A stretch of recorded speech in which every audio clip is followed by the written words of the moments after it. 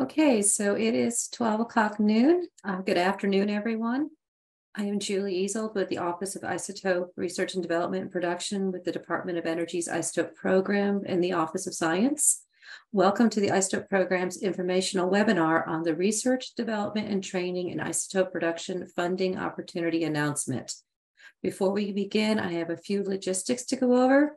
This meeting is being recorded the recording of this meeting will be posted next week to the Office of Science website. I will drop the links into the chat.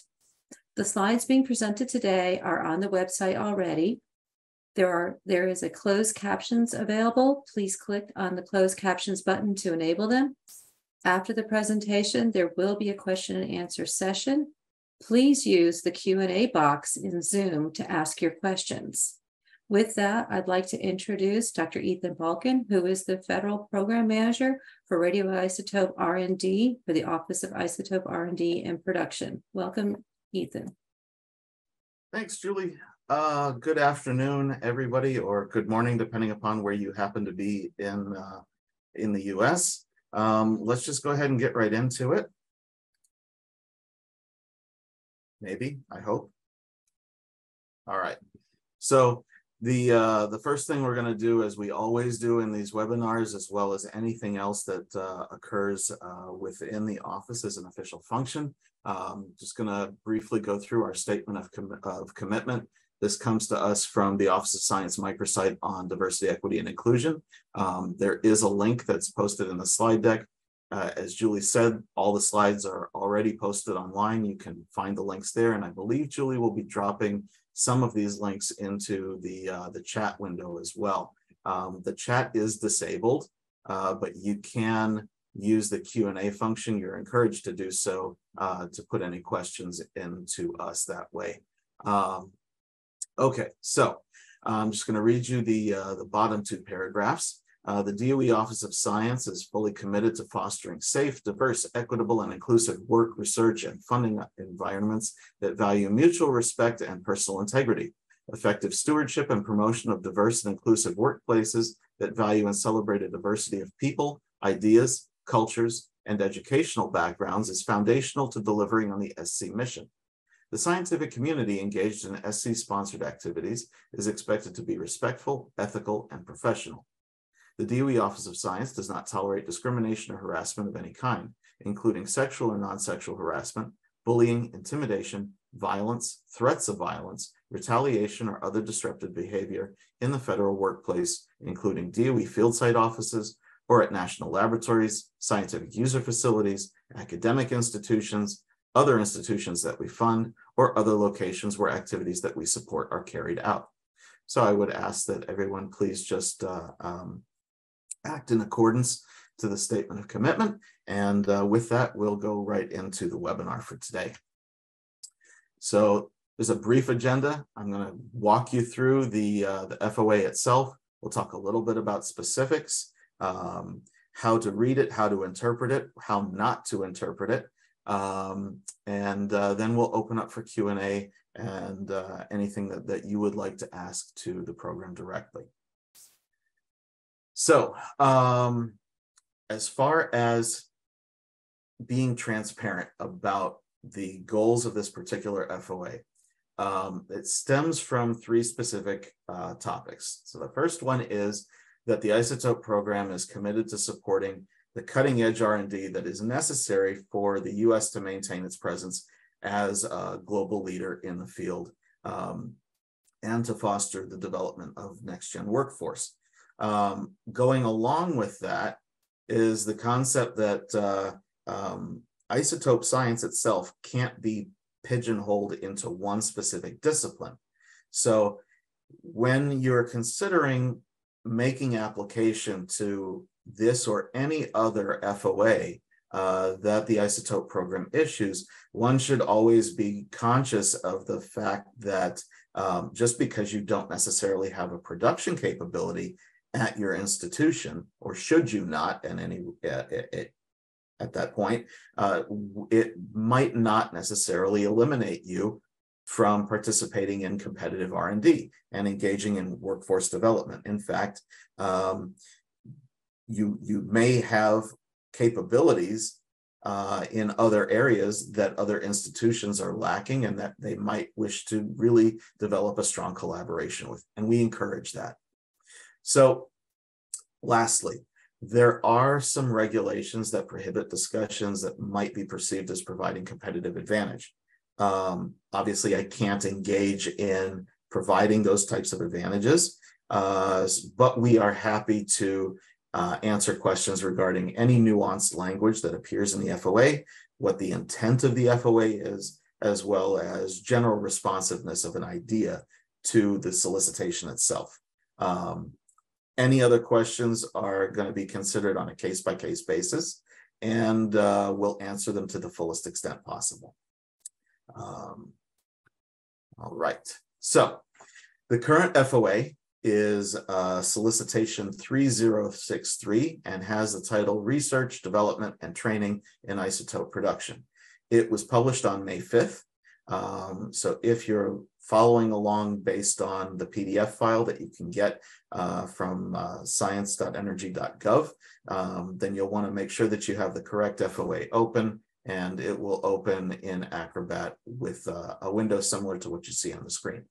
Um, I will point out that I'll be referring to page numbers and um, I will utilize the page number that is circled in green at the bottom of your screen as opposed to those circled in red because there's a, uh, a disparity between the two. So I'll be referring to the PDF page numbers or the, I'm sorry, the document page numbers as opposed to the PDF page numbers. All right. Um, who's eligible? So all colleges and universities, nonprofit research institutions, and DOE and NSA national laboratories are eligible to make application to this particular solicitation. By um, special request, private industry is ineligible to participate either as an applicant or a subaward recipient. Um, these are in keeping with previous FOAs uh, that issued by uh, the program. These are two-year awards. Um, multi-institutional teams are, are encouraged, whether those are implied for as a prime applicant with subawards or as a true collaboration. Um, and in the case of a multi-institutional team, uh, the request is limited to no more than 750,000 per year so a total of 1.5 million over the life of the award for the entire effort, not for each institution. It's a key point to me uh, to, to keep in mind. If you're a single institution proposal, uh, same ceiling applies, 750,000 per year. Um, and uh, one should also re uh, uh, remember that um, DOE Office of Science speaks in terms of uh, total funds as opposed to directs or indirects uh, being separated out. So these are total fund uh, budgets. Okay. Um, MSIs are always encouraged to apply. And then that develops the question of who can a subaward recipient be? Um, any of the eligible institutions. So um, that brings up the next question is what's the difference between a prime and subaward proposal and a collaborative proposal? In a prime and subaward proposal, you've got a, a, a leading institution. Uh, for the sake of argument, we'll say that that lead institution happens to be a university.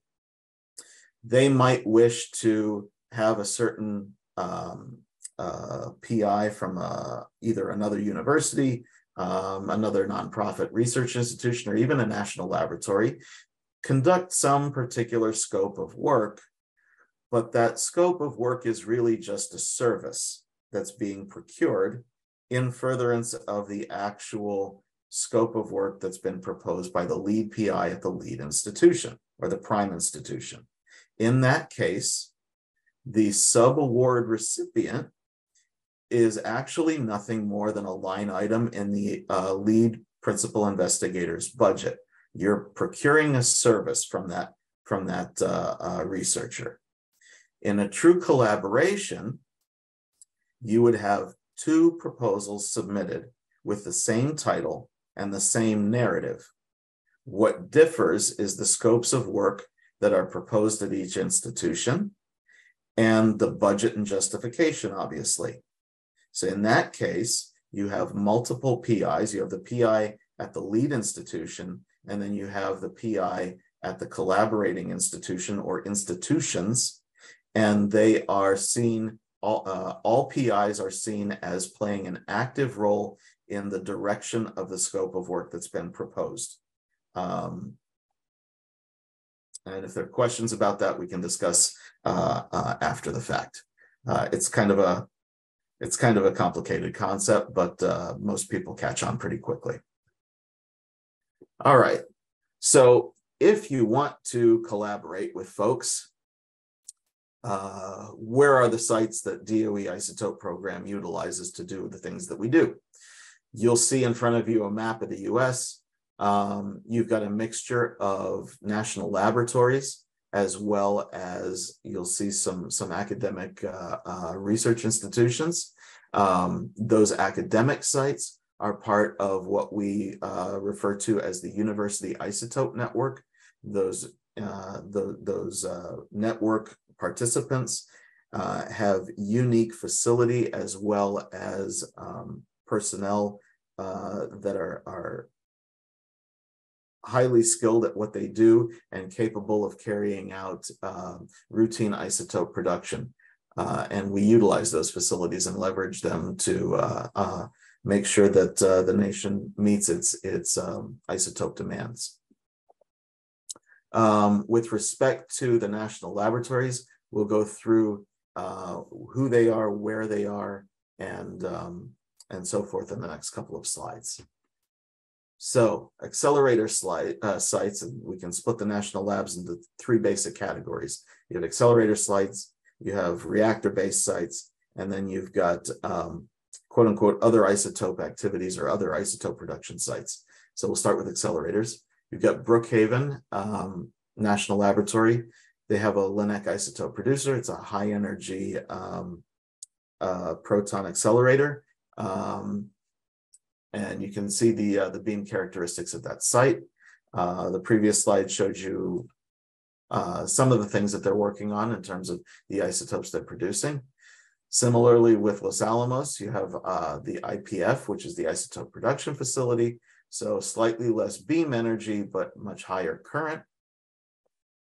Um, and I should point out that uh, these two sites uh, run off cycle of one another because both are, are proton accelerators. Uh, they back each other up. So when Brookhaven is producing, uh, Los Alamos is down for preventative maintenance and vice versa. Uh, you also, we've also got uh, Argonne National Laboratory with uh, a low energy um, electron accelerator, uh, and its beam profile is characterized in the first bullet. Um, right, moving to reactors. Uh, we have Idaho National Laboratories ATR, the Advanced Test Reactor, um, primarily used for production of cobalt 60, although there are other applications at, at uh, Idaho National Lab um, that are, are either under development or being considered. And then um, by far the uh, the work for the workhorse uh, of reactor production within the um, the portfolio of DOE IP is Oak Ridge National Labs uh, HFIR or high flux isotope reactor, um, and the suite of processing facilities uh, at Oak Ridge as well that feed into what their activities uh, happen to be. Some of these other isotope uh, uh, production sites, um, we do some work at Y12. Pacific Northwest National Laboratory has uh, um, extensive expertise in process automation, as well as um, conduct some, some separation science uh, and dispensing.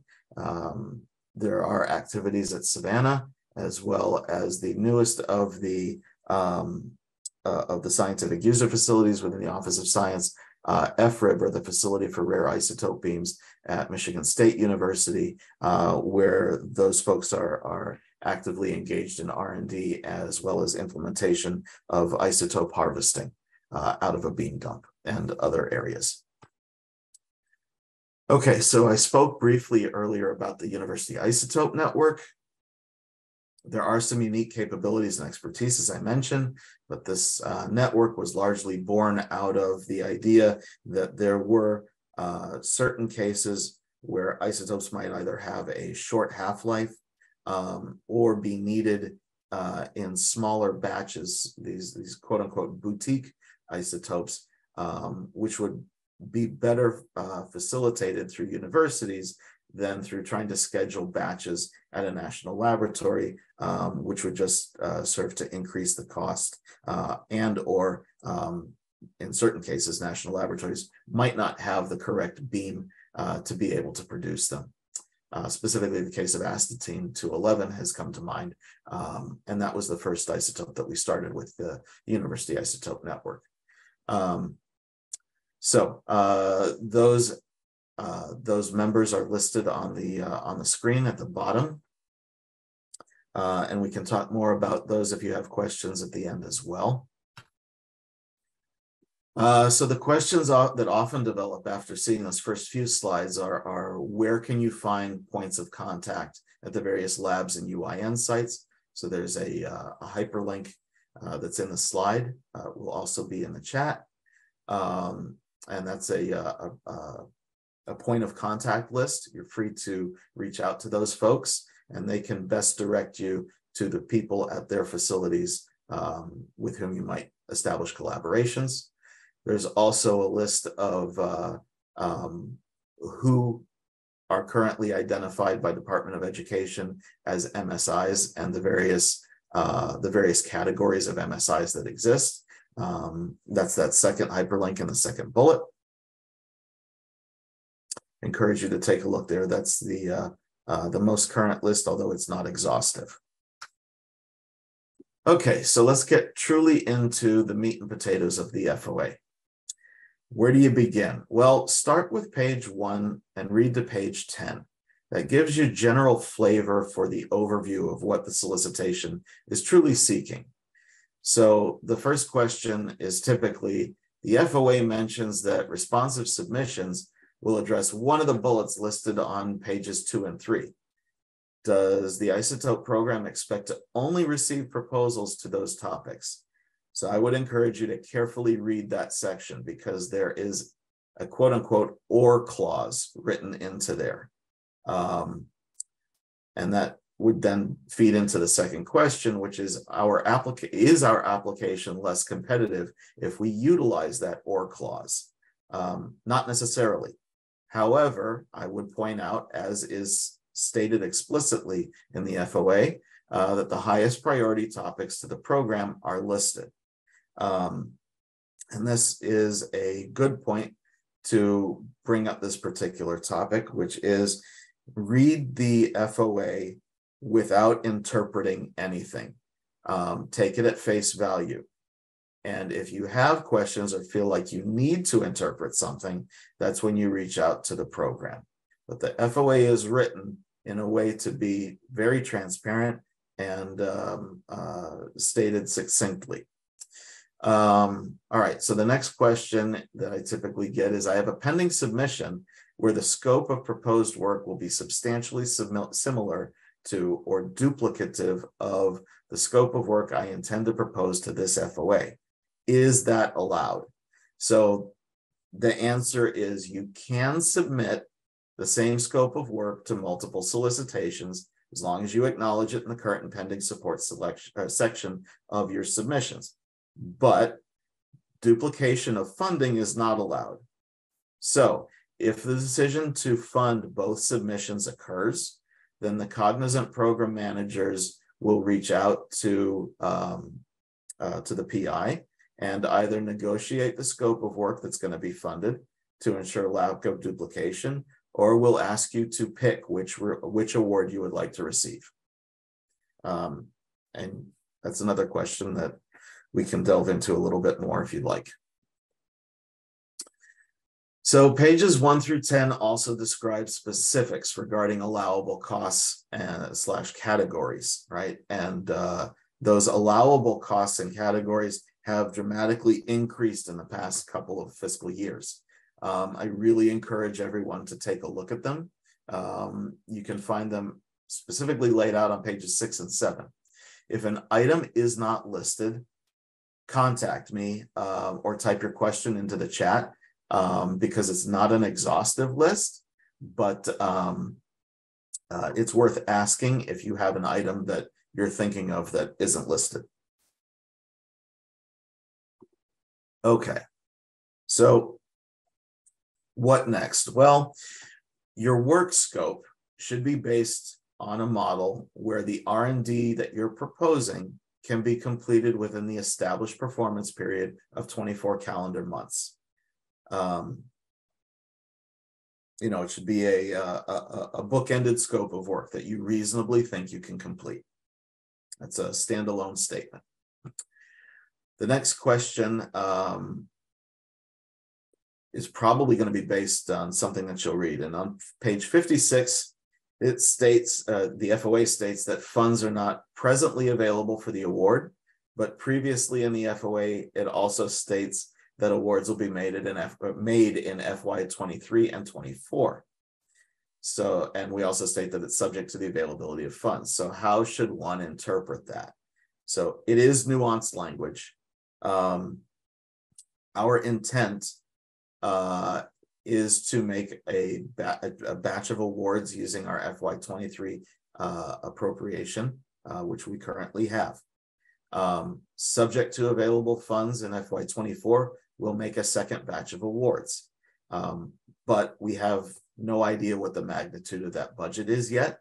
So that's why that second statement sort of appears. Um, but it's not to say that uh, anything has changed. So um, it shouldn't be taken as a as conflicting statements.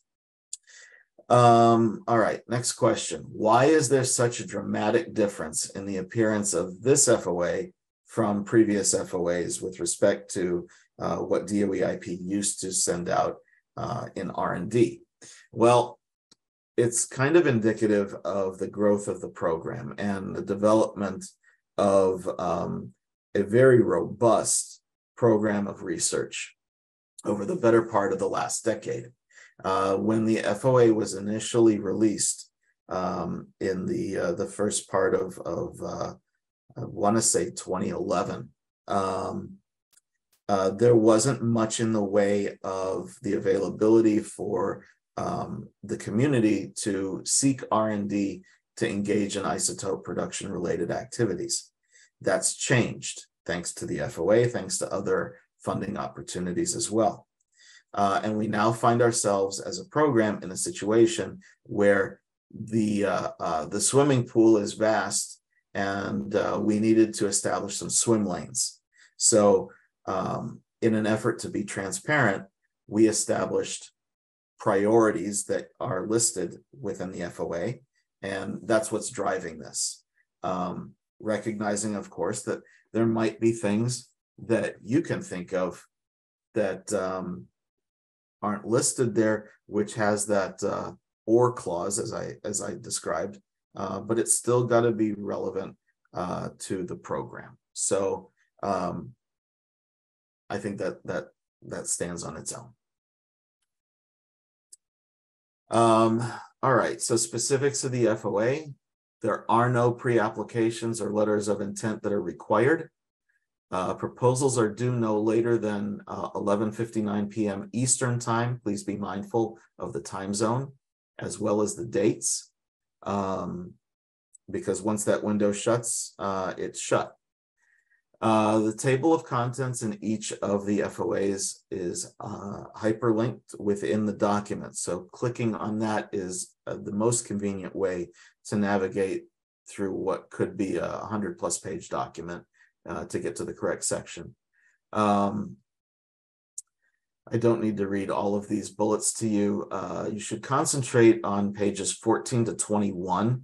Um, that's where the majority of the sections that we anticipate seeing in a uh, responsive proposal can be found. Uh, it also discusses formatting and the appendices that must be included, right? So um, make sure to, to, to capture the things that are listed there um, and pay careful attention to page limits. It's also a very good idea to have your SRO read those pages as well because sometimes they catch things that you might miss. Um, pages 24 to 26 discuss the review process. the review criteria, as well as program policy factors that may be applied. Um,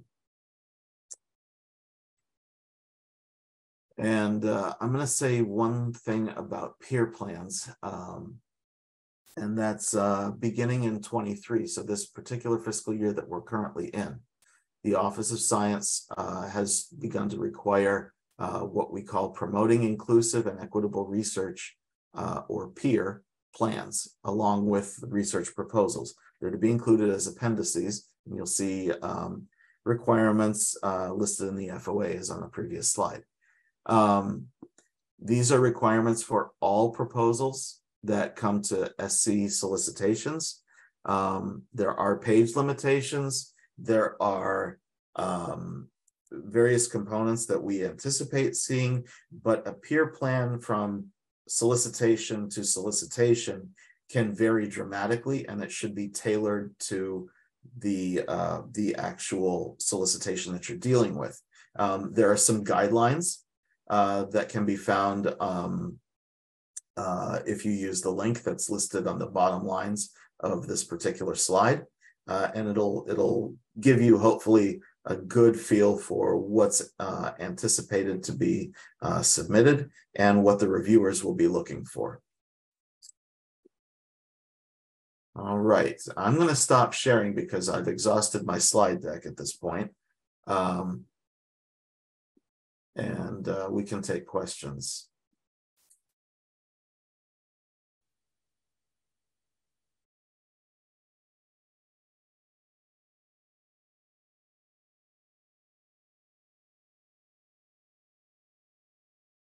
So Ethan, we've had just a few questions in the Q and A. So just a reminder, please, if you have questions, go ahead and type them in in the Q and A section um, at the bottom of your screen. Uh, just uh, a reminder that commercial entities cannot participate in this FOA. And that is due to the isotope program is prohibited from competition with the commercial isotope industry. The slides are already posted. I have put the links in the chat. Um, if you're having trouble reaching those, just let us know.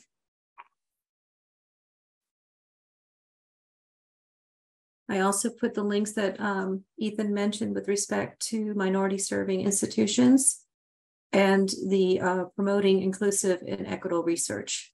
Those links are also in the track or in the chat for you.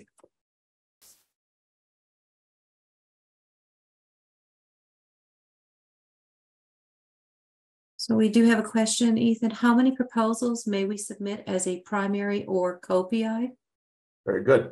Uh, the DOE isotope program does not limit the number of proposals per institution or, per, or, or per PI.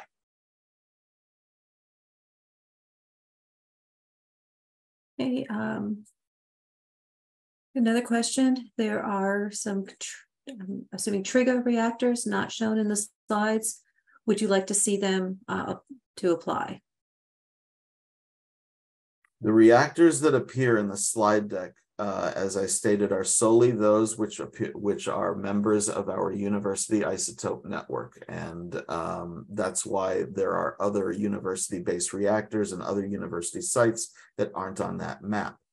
As to whether or not a facility um, as to whether or not the isotope program would like facilities to apply or not, uh, we issued the solicitation uh, to provide an opportunity to the community to seek R&D funding. If you have a, a compelling idea um, and, and you'd like to, to throw your hat into the competition, we encourage applications from all entities uh, as established under the eligibility criteria.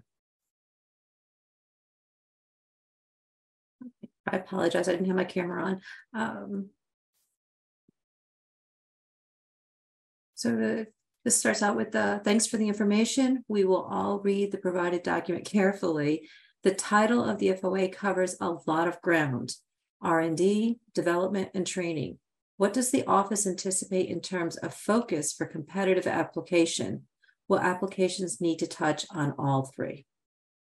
So I would suggest that you take a look at pages one through 10.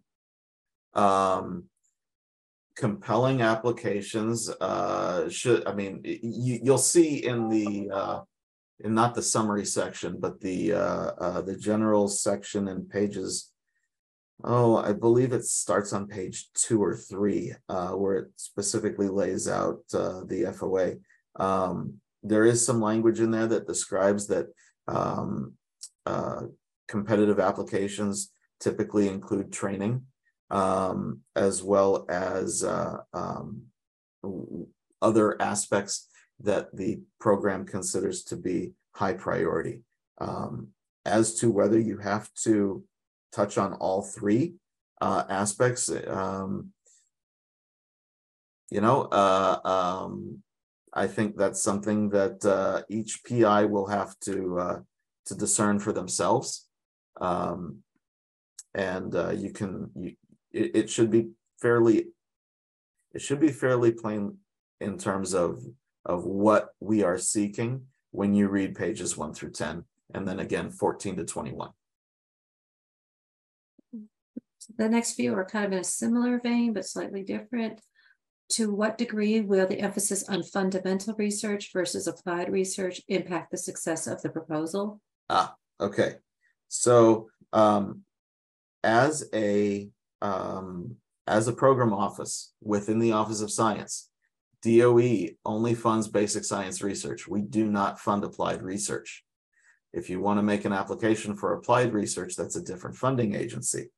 The work that the isotope program funds uh, is considered basic science um, up to a certain point. So you know, I, I have to make certain assumptions here. I'm gonna assume for the sake of argument that the researcher in question was considering a potential medical application, in which case there is a clean line that is drawn between where DOE funding would have to end and where NIH or some other funder of, uh, uh, of, of biomedical based research would have to begin. Um, and, um, you know, that typically occurs uh, at or near the, uh, the, question of efficacy in a living system.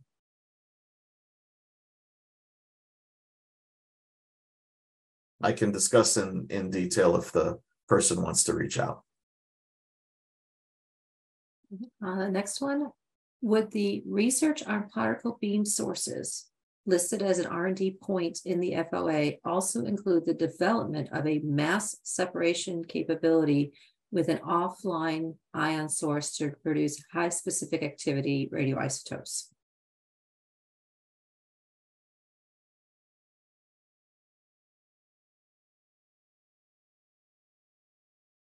Potentially, yes.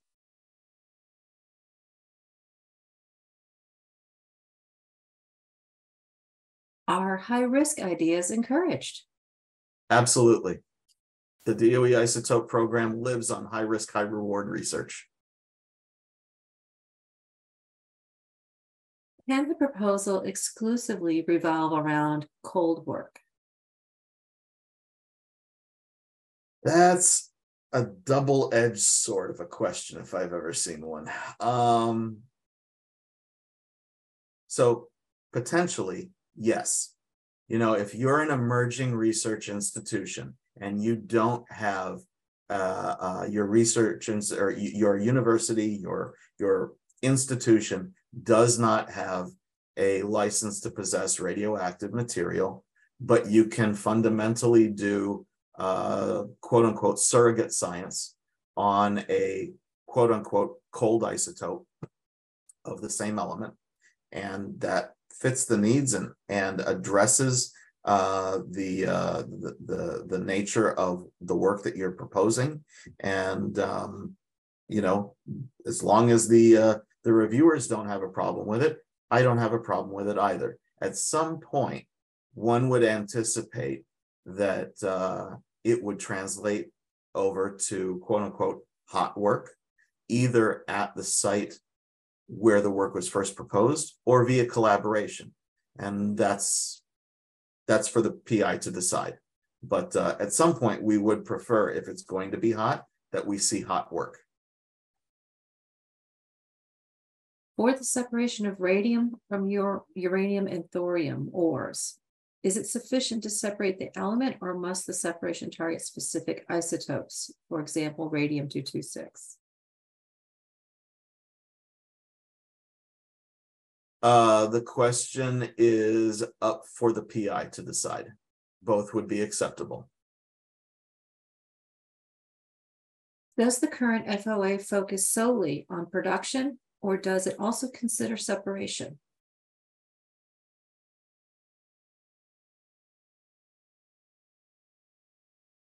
I suppose I have to ask the question in what context? Right? Because separation science is part of processing. Processing is what happens post production. Unless, well, yeah. Um, unless you're considering enrichment, in which case separation is quote unquote production of your of your enriched isotope. So I suppose the answer to the to the to the question is uh yes. right? It's got to focus on everything, all aspects. Is there someone we should contact to advise on some of the proposed ideas before the deadline? I'm the technical contact. Um, you can you can reach out to me. My information is located within the body of the FOA. Um, uh, I believe on the first couple of pages, uh, as well as the last couple of pages, because we bookend things. Um, uh, yeah, so you can you can reach out directly to me. Is the NIDC product catalog considered an acceptable source of radioisotopes? I suppose I need a little more uh, um, clarification. An acceptable source. So the NIDC is uh, the business arm of the DOE isotope program, right? It's a virtual store uh, front for for isotopic sales uh, of products developed by the isotope program. Um, is it an acceptable source? Absolutely. Um, in some cases, it's the only source. Um, I would, and this is a good point, this is a good time to bring this up. I would highly recommend that if you're going to apply to this particular um, solicitation, that uh, you include, oops, it looks like I've lost my moderator. Um, that's okay we'll we'll we'll roll with the punches. Uh, I I highly encourage anyone who is going to make application uh, to this particular solicitation to obtain a quote for the cost of any starting material they might need. Um, for several reasons, um, but not the least of which is work funded by the DOE isotope program um, typically receives the isotope that they need to do the work that they are funded to do at no cost from the program. So if it's in your budget, I can then strip that portion out. But if you don't include the cost of the material, I can't add it in. You also have another question, Ethan that the NIDC announcements recently have indicated greater availability of many isotopes. As an example, bromine 77 and bromine 76. Are isotopes such as these of little interest for this FOA due to their stated availability? If something is already available, then uh, seeking production in it um, might find lower um, might find lower programmatic relevance. Um, you know, that's that's as much as I can say about it. Uh, we unless you can identify something that is substantially going to uh, increase yield and or purity over what the existing uh, capabilities are, then then you know it's been funded, it's in the catalog. There's no reason for us to really look at it again. Is any preliminary data required in a proposal? Always a good idea to anticipate the questions that the reviewers will have. Um, but I can't say that uh, there is any requirement for any data. You have to make a compelling scientific argument. How you construct that argument is up to you. This programmatic relevance statement should be in future FOAs. The field would find this very helpful to understand what is most compelling for funding. We completely agree, hence its appearance here. Thank you for the feedback. Is the area of, nucle- of nuclear nanotechnologies an acceptable area of research? As long as it is uh, responsive to one of the topics that appear, one of those five or six bullets, uh, then yes, you know, independent of the uh, of the bin that you choose to to put yourself into, um, you just have to be responsive to one of those bullets. Will software licenses be treated similar to material procurement from a budgetary point of view? And let me know if you need me to take that one. Yes, please do. Okay.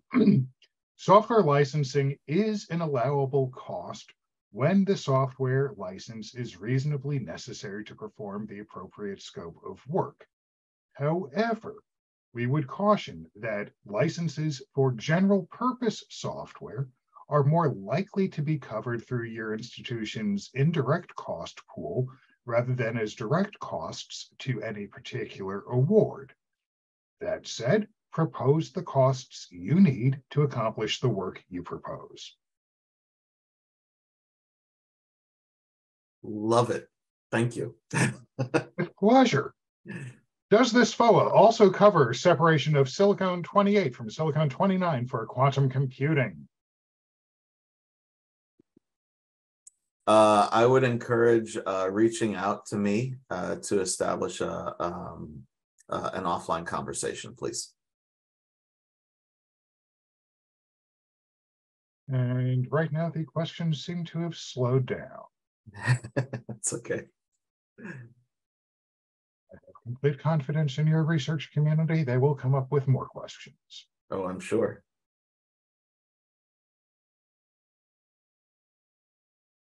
There we go.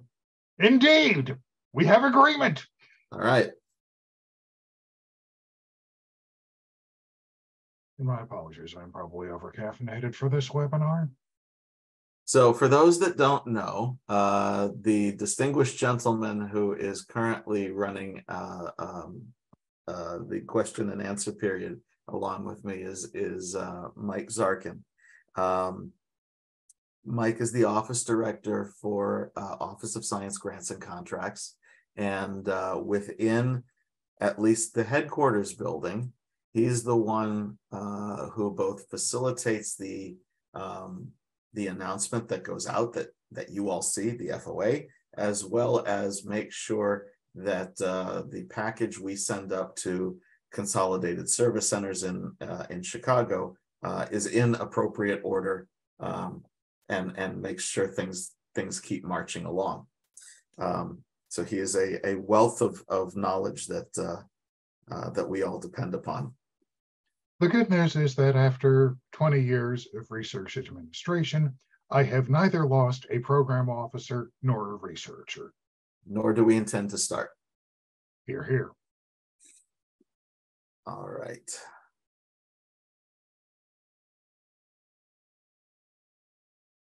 Well, it is, oh, there we go. Okay, can you please re-explain the OR clause for the priority topics Will scoring be adjusted for priority topics? Does that mean you need to explain scoring and review matrices? So um, I would encourage everyone to take a look at the list of what are called program policy factors that are contained in the section on uh, the review. Um, in there, just read the, you can, you can just read the uh, uh, the paragraph related to the explanation of what program policy factors are. And then you'll see the laundry list of the program policy factors, some or all of which might be applied. And I think that will answer your question. The or clause stipulates that uh, we recognize that those are the highest priority items to the program right now. But there might be something that uh, someone's mind develops, which would be um, compelling to the program. And we did not want to just have a, uh, a slammed door um, seeking responses to just those six those six bullets. Um, that said, the swim lanes are helpful. It shows the community um, what, uh, what what we believe is the highest priority R and D, and uh, the direction that uh, we're seeking this particular FOA to cover.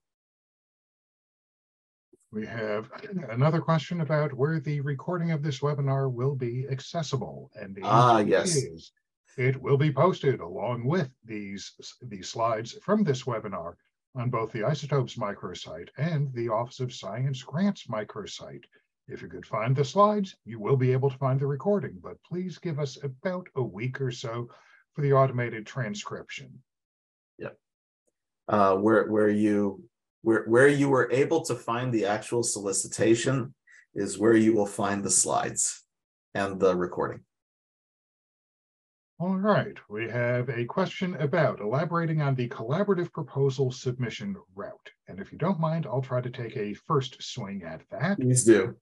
Okay, the difference between collaborative proposals and prime and subs should be entirely driven by the nature of the relationship between the various institutions in the team. If someone is truly leading the effort and is more in a command and control position over the other team members, that describes a prime and subs model. If, however, it is more a network of peer level institutions working together for the same objective. That's more a collaborative proposal route. In a prime and subs model, our objective is to make one award to the prime institution who will then manage and therefore directly control the work at the subs. In a collaborative proposal process, our objective is to make multiple independent awards to each of the selected team members who are then going to perform their own work, again, presumably in the same direction to advance the same objective, but no one institution is capable of telling other institutions exactly what to do to reach that objective. In a collaborative proposal process, it's therefore critically important that we receive exactly the same research narrative from each of the proposed team members. Each institution needs to propose its own budget, describe any unique facilities or equipment, and provide material about the personnel at that specific institution. But presumably, if you're working as a collaborative proposal, you need to have one common research narrative from every team member. Did I hit it for you? That's everything. Yeah. Ah, might be thinking that I've actually done this before. Historically, many awards have gone to a small number of institutions. Is there a component to the review process that motivates new sites that have not been funded by DOE in the last decade or more? Absolutely. Take a look at the program policy factors. Will there be double-blind reviewing for this FOA? No, there will not be. Can proposals be anonymous to reviewers to provide non-biased reviews? No, there cannot be because the personnel are an integral part of the Office of Science review policy as established by regulation. Sorry to steal your thunder on that. You're good. Can you share the reviewer metrics charged by which the reviewers score each proposal? Uh, so the, the, the, well. So the charge elements are listed. Uh, um, and, uh, they were described in the, uh, uh, in the slide, uh, as well as in the FOA. So you can see exactly what the reviewers will be, uh, will be reviewing based on. Um. You know, that's, that's, if you can address those metrics, if you can, if you can address those, those charge elements, then, you've set yourself up for the, the highest possible score that you could potentially receive. Hmm. Are there any stipulations regarding funding US citizen vers- versus non-citizen students? Absolutely not. The only thing to be mindful of is that if you are planning to perform work at a DOE site or facility or national laboratory, non-US persons may have an additional screening process before they gain physical access to that site. However, that is physical access to a DOE site that has no bearing to what you may do on campus. Is DOE enforcing the provision of a living wage to graduate students working on funded projects? No. The Department of Energy has no authority to impose or enforce a minimum wage.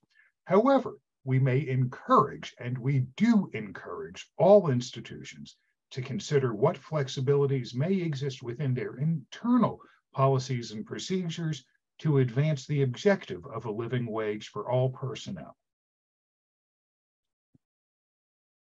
If the submitted proposal to this FOA is similar to a previous submission to a different FOA from the DOE, would this impact the acceptance to fund any of the submitted proposals?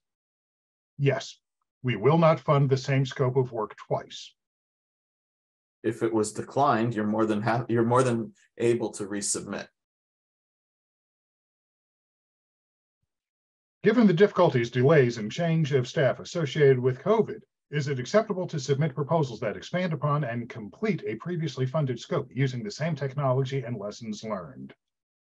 Yes, that would be a, well, that would be an expansion of previously funded work on a terminated award. That's absolutely acceptable. Also known as, also known as the, the, the D part in R and D, right? That's the development part. You're expanding. How are reviewers chosen? Uh, reviewers are chosen based on subject matter expertise. Uh, peer review is an integral part of the, uh, um, the proposal and funding um, uh, activities of the Office of Science.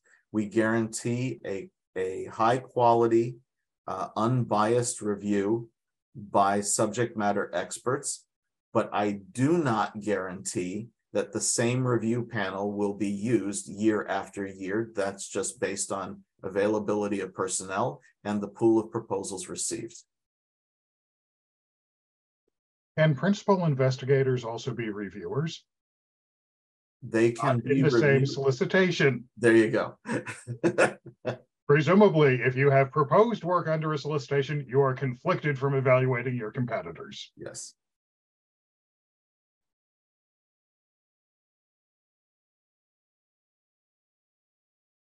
Oh, come on, we've got eight more minutes in the Ethan and Mike show. We need more questions. There's one. What are the top three isotopes that IP is interested in? I would, I would direct you back to the bullet points. Um, there's no way for me to say one, two, three. Uh, they, there are categories of things that we are interested in and rankings in each category. So, uh, I would, I would look at, uh, I would look at the bullet points, uh, that are listed in terms of the high priority research for the office. And, um, if there are examples listed, uh, you can, you can take those as you will.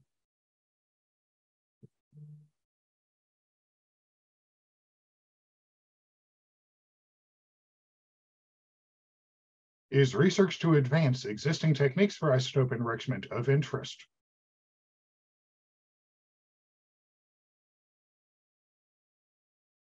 So, um.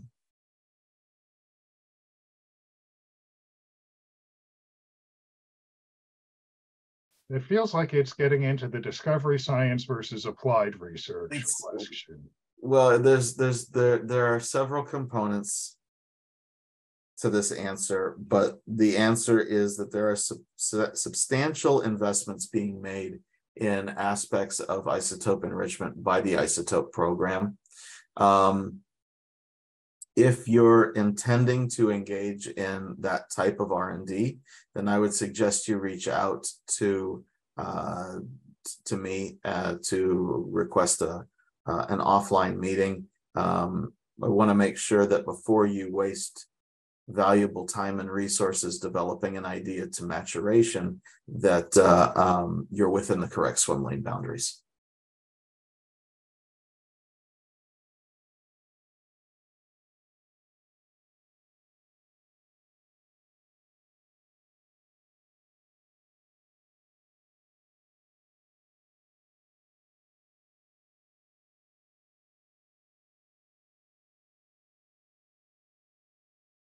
Anybody else? If not, you all know where to reach me and how to find me.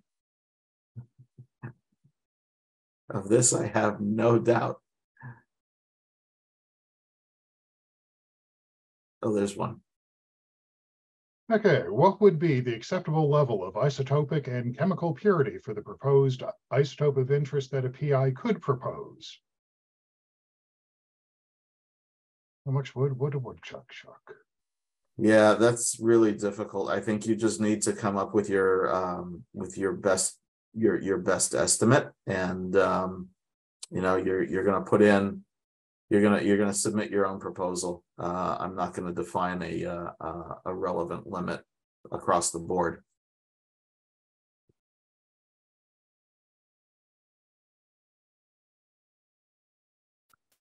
Is there a second one?